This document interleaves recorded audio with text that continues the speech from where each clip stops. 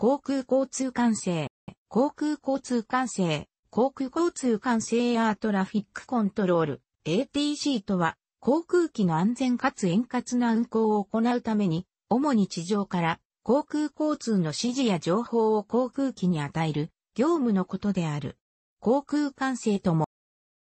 航空交通管制は、航空機相互間及び走行地域における航空機と障害物との間の衝突予防並びに、航空交通の秩序ある流れを維持促進するための業務を言い、管制業務を行う資格を有し、かつ、当該業務に従事しているものを航空管制官、エアートラフィックコントローラーという。また、航空管制が実施されている空域を、管制空域と呼ぶ。電波の変調方式は、全世界で振幅変調が用いられている。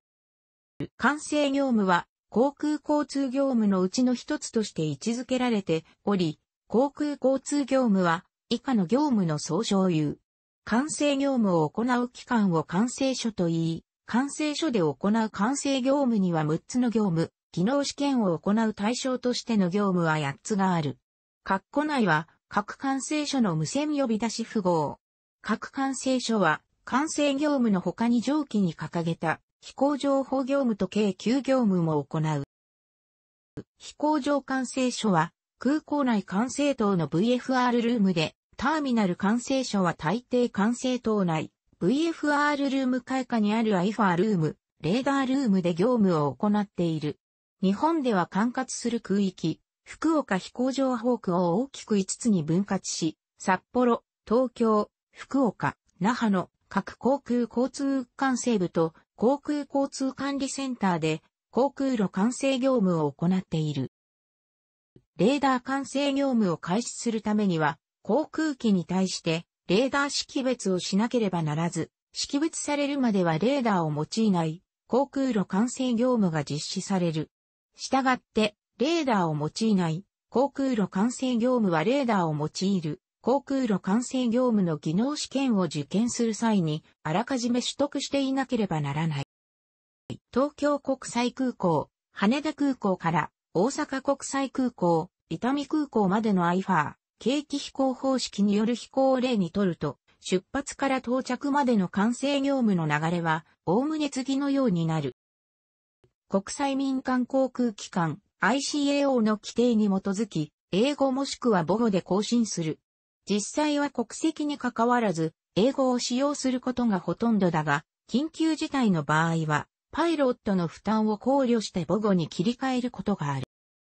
即座に空港もしくは飛行場の環境をコントロールする第一の方法は、管制塔、コントロールタワー、TWR からの目視による監視である。管制塔にいる管制官は、飛行場周辺、航空交通管制圏を航行する、航空機、飛行場内の誘導路と滑走路上で移動する、航空機や業務車両などの交通整理の責任を負っており、原則として目視により完成する。空港によっては、地上の航空機などを表示するレーダーを備えるところもある。この管制塔は飛行場敷地内に建てられており、飛行場面や周辺を飛行する航空機が見渡せるように高く、風に強い構造である。飛行場管制の基本は、飛行機や車両との無線更新を担当する席と、直通電話等を使用して、他の管制機関や外部との調整を行う席の2席のみであるが、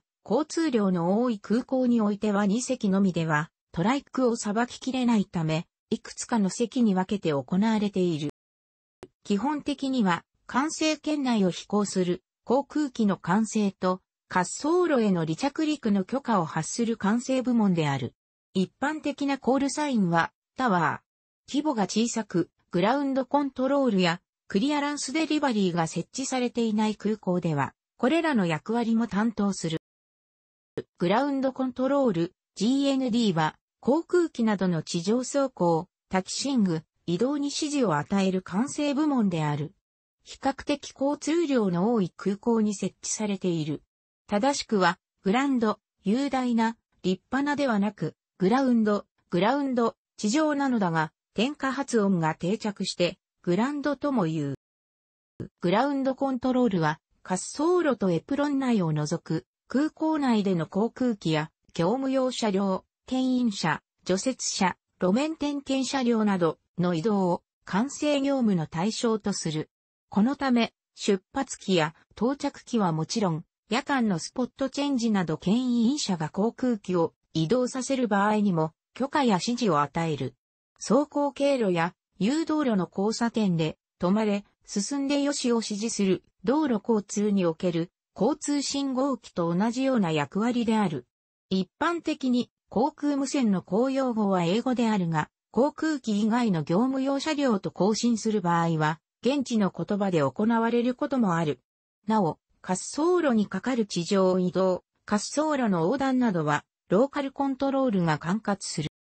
日本では、航空管制官が管制する、ほぼすべての空港に設置されている。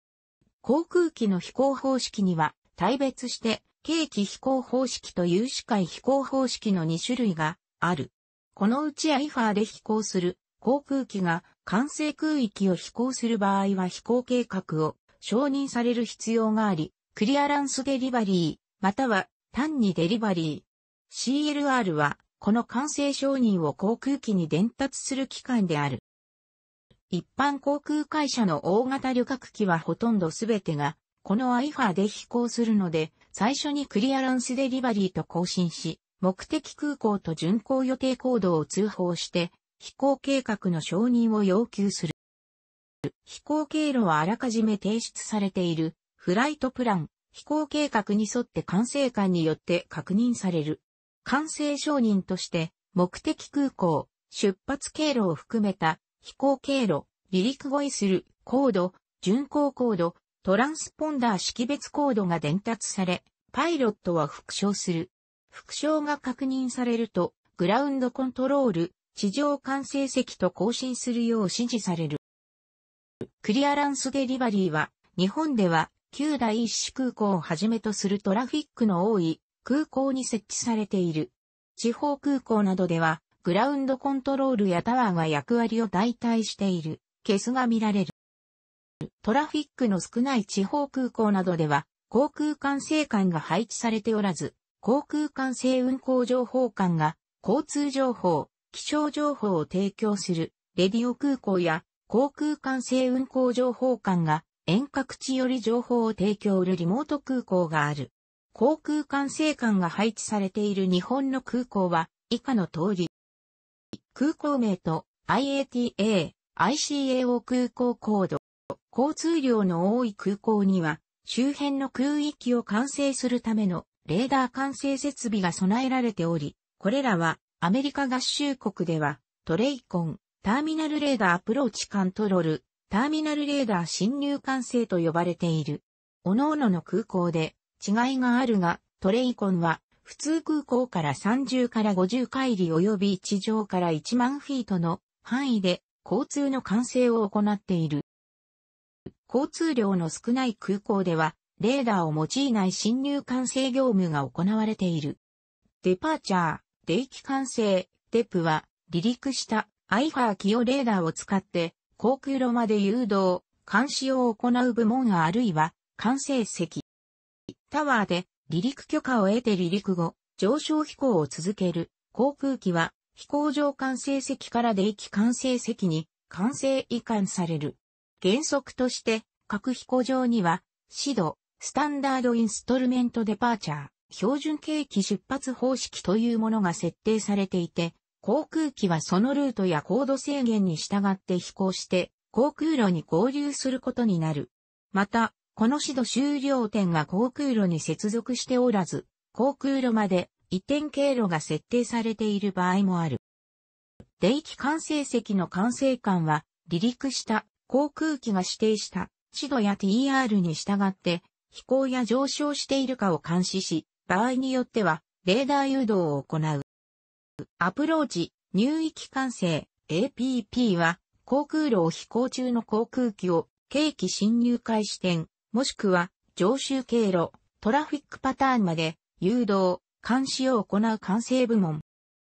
航空機は目的地飛行場に近づくと航空路を離れ降下しながら滑走路に向かう。通常、航空路は滑走路まで設定されることはなく、航空路から飛行場、正しくは着陸する、滑走路に対する景気侵入を視する地点まで、スター、スタンダードインストルメントを選ばる、標準景気到着方式というものが設定されている。航空路を飛行中の航空機は、スターに従って侵入開始点へ向かうことになる。ただし管制圏の設定のない飛行場によっては、スターが設定されていない場合もある。入域管制、席の管制官は、航空機がスターに従って飛行や降下しているかを監視、もしくはレーダー誘導によって到着機動士の管制間隔を設定し、侵入許可を発出する。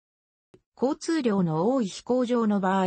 到着の航空機はあらゆる方向から飛んでくるため複数のスターが設定されている。到着機が複数ある場合、スターを飛行中の航空機が順序よく着陸できるように航空機種の間隔を設定する必要がある。入域管制を担当する管制官はレーダーを用いて速度調整や誘導、レーダーベクターを行い、侵入順位を決めて航空機を並べていく。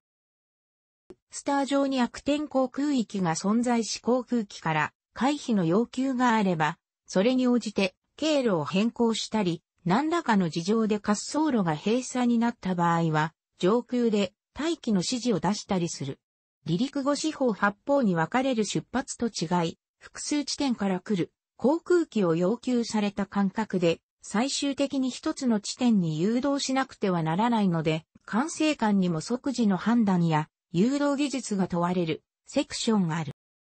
侵入許可を発出すると、タワーとの更新が指示され、飛行場管制所に業務が引き継がれる。管制官が音声により航空機を滑走路まで誘導する管制席。管制官はパー、生息侵入レーダーを用いて航空機に対して一方的かつ連続的に機種方位などを指示し、航空機を誘導限界点まで誘導する。主に計器着陸装置、ILS を備えていない航空機、特に戦闘機などに対して行われる。肉声で誘導するが精度としては ILS のカテゴリー1に相当する。ATIS、ATIS、ATIS、 Automatic Terminal Information Service、飛行場情報放送業務は、滑走路への着陸方式、使用滑走路、空港の気象情報、航空保安施設の運用状況等を、地上から航空機へ無線を使って連続的に放送するサービス。航空機の飛来が多い空港で行われている業務である。通常は毎時0分に更新され、交通量の多い空港では毎時30分にも更新される。また、着陸方式や使用滑走路などが変更された時や、パイロットから乱気流に関する報告があった時、気象状況が規定の値を超えて変化した時などは随時更新される。情報が改定された場合は A、アルファから Z、ズールーまでのアルファベットを順に使って識別される。放送内容は英語で送信される。航空管制運行情報管、旧航空管制通信管の録音によるもの、または合成音声、録音された単語データを必要に応じて組み合わせる電話の時報と同じ手法に読むのがある。出発や到着前には最新の情報を受信し、自分が持っている情報、情報記号 A なのか B なのかを管制官に報告することが求められている。最新の情報を持っている旨通報された管制官は航空機への通報事項を省略することができる。日本のエーティス設置空港は上記の放送例と同じ形式で放送される。30分の間にの部分が更新されたことになる。着陸方式が ILS36 から ILS18 に、風向きは80度から160度に、QNH が30.00インチから29.90インチに変わっている。パイロットによって持っている情報が違う時がある。例えば、最初の更新でパイロットが We have Alpha と管制官に報告した場合、最新の情報番号はブラボーなので、管制官はパイロットに対して Now Information Bravo, Using Runway 18, QNH29.90 などと、アルファとブラボーで情報が変わっている部分を訂正する必要がある。航空機が飛行場を離陸して航空路に合流すると、電気管制から航空路管制に管制移管される。目的地の飛行場への着陸侵入体制に入るアプローチへの管制移管まで飛行中は航空路管制の管轄になる。航空路管制、エンルートのことをセンターとも呼ぶ。センターの管制官はアメリカなどのバーエアルート、交通管制センター、日本などのバーエリア管制センターと呼ばれる機関で業務を行っている。各センターは何千平方マイルといった膨大な空域を航行中の航空機の動向をレーダーを用いて監視している。洋上を航行している航空機に対し、主要空港の気象情報を短波を使って放送している。日本は太平洋ボルメット地域に属しており、2863.6、679.8、828.13、282の各キロヘルツで毎時10分と40分に気象庁本庁から放送している。聞き続けていると管轄各地の天気がわかる。日本では国土交通省航空局の管轄下において航空交通管理センターと4つの航空交通管制部を設置して航空路管制業務を行っている。日本国内に発着しない飛行機も管制空域内では日本の管制下に置かれる。なお航空交通管制部では、小規模空港におけるレーダーを用いない侵入管制業務も行っている。2005年と2006年に種子島宇宙センターから打ち上げられた運輸多目的衛星ひまわり6号 MTSAT-1R 及びひまわり7号 MTSAT-2 を使って洋上や VHF 通信のブラインドエリアを飛行している航空機と管制機関の間で各種データ通信を行うことができるようになった。そのため、レーダーでの監視ができない洋上において、運行本数を増やすことができるようになる。MTSAT によるサービスを受けるためには、衛星通信用の設定と航空当局への登録が必要になる。したがって、設定していない国内、国外の航空機はサービスを受けられないことがある。2018年11より、神戸航空交通管制部、神戸コントロールが発足し、那覇コントロールは廃止され、神戸衛生管制センターの施設を転用し、那覇コントロールの人員をもって、新設、当面は、神戸コントロールが、那覇コントロール管区を担当予定。2025年度を目安に、交通管制部を東京と神戸に再編し、低高度領域を担当。高高度及び、洋上部は、アッテムシーに一元管理、上長化を取る再編を徐々に実施予定。札幌、那覇の施設は再編後に実施する、ターミナル空域再編の際、ターミナル空域管制センターに転用予定。レーダーは主に飛行中の航空機の位置と高度を把握するために用いられ、日本国内のレーダーサイトは、主に航空自衛隊により警戒管制や飛行管制などに用いられている。国土交通省の航空局レーダーサイトには、空港監視レーダー、二次監視レーダー、空港面探知レーダー、生息侵入レーダー、航空路監視レーダー、洋上監視レーダーなどがある。レーダースクリーン上には、航空機の速度も表示されるが、これは二次レーダーによるものではなく、一次レーダーの情報から解析した対地速度である。航空用の気象情報はいくつかの情報がある。楽しくご覧になりましたら、購読と良いです。クリックしてください。